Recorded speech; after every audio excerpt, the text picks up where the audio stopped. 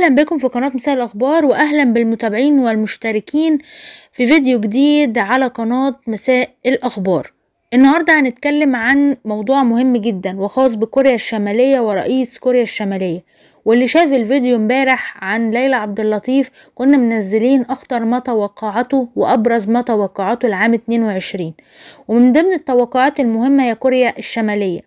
وفي خبر لسه نازل من كام ساعة تقريبا خمس ساعات إن كوريا الشمالية أطلقت صاروخ في اتجاه الشرق والرئيس الجنوبي لكوريا الجنوبية يندد. والموضوع مقلوب وأمريكا كمان دخلت في الخط والعالم دلوقتي بعد ما كان مشغول بموضوع روسيا وأوكرانيا بدأ يتجه ناحية كوريا الشمالية ورئيس كوريا الشمالية لأنه من الواضح ورا الموضوع حاجة أكبر مما هو واضح.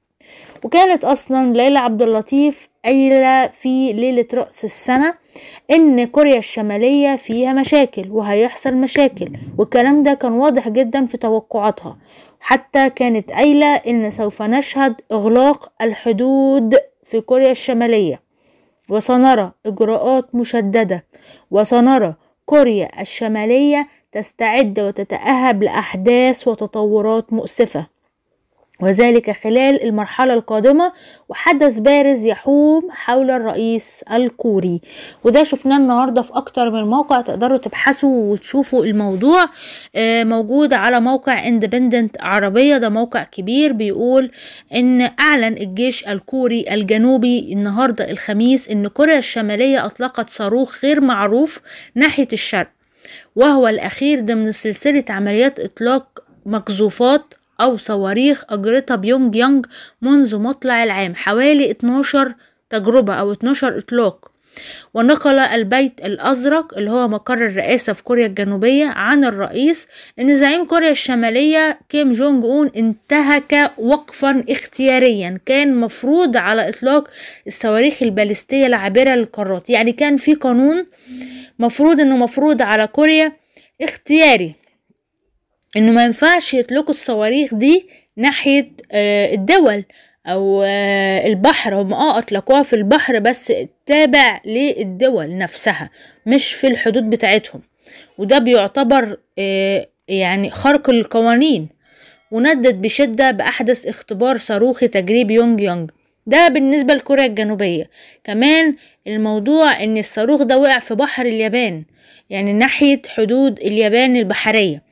وحصل غضب في اليابان ودان رئيس الوزراء الياباني فوميو كيشيدا عملية الإطلاق الكورية الشمالية لما يرجح أنه صاروخ باليستي عابر للقارات سقط في المنطقة الاقتصادية الخالصة لبلاده معتبرا أنه عمل مشين ولا يغتفر. طب أنت دلوقتي بتعمل تجربة إطلاق صواريخ ليه بتخليه ينزل عندنا؟ آه ورأى كيشيدا أن كوريا الشمالية بتهدد سلامة وأمن اليابان والمنطقة وكمان المجتمع الدولي وأن ده أمر لا يمكن القبول به. وكان مسؤولين حكوميون يابانيون أعلنوا في وقت سابق أن مجزوف كوريا الشمالية يرجح أنه صاروخ باليستي سقط في منطقتها على بعد 150 كيلو من الغرب من سواحلها الشمالية. وقال وزير الدولة الياباني أن الصاروخ وقع في الناحية زي ما إحنا قلنا ناحية اليابان وكان ممكن يقع على سفن. ممكن كان يقع على يعني أي حد كان ممكن يكون موجود في اللحظة بتاعت سقوط الصاروخ والناس تموت. بس الحمد لله مفيش أي ضحايا أو حصلت مشاكل في السفن أو أي حاجة في اليابان.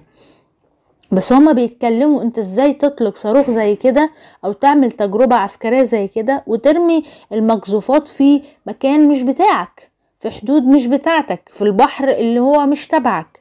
ده رماه في ناحية اليابان وده بيعتبر تهديد صريح. انت ليه بتعمل كده؟ كان ممكن يبقى فيه سفن كان ممكن يبقى فيه غواصات كان ممكن يكون أي حاجة موجودة في البحر في الوقت ده ويتم تدميرها.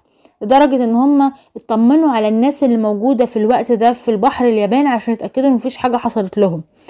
آه كمان الموضوع وصل لأمريكا. أمريكا الحقيقة برضو مش ساكتة عن الموضوع ده وقالت إن التجارب الصاروخية لكوريا الشمالية بتزيد التوترات والخبر موجود على آه موقع اسمه 24 بيقول دانت الولايات المتحدة الخميس بشدة.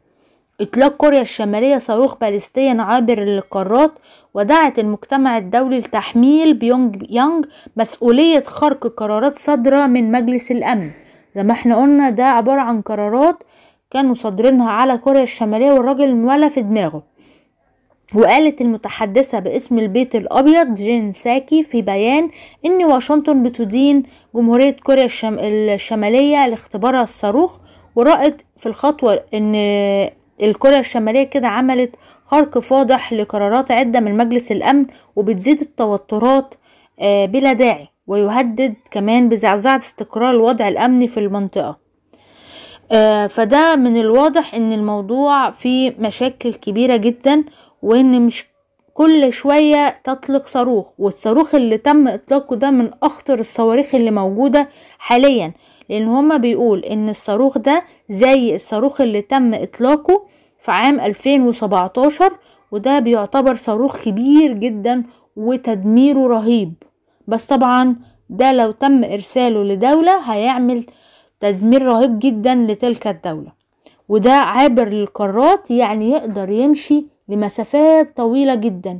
يعني ممكن يضرب أمريكا ممكن يضرب أي دولة هم عايزينها بسهولة جدا. وكمان الجديد ده كمان أوحش حاجة فيه إن هو ممكن الرادار ما يشوفوش.